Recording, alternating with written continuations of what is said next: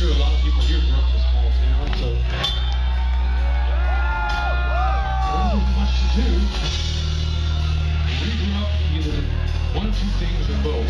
Play music or play hockey.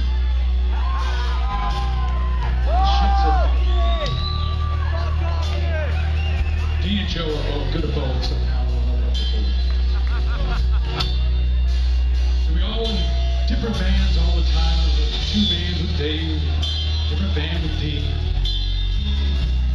It's pretty cool able to be a teenager jam cool shit, do songs. We'll play you a song, one of our favorite songs to play. We try to play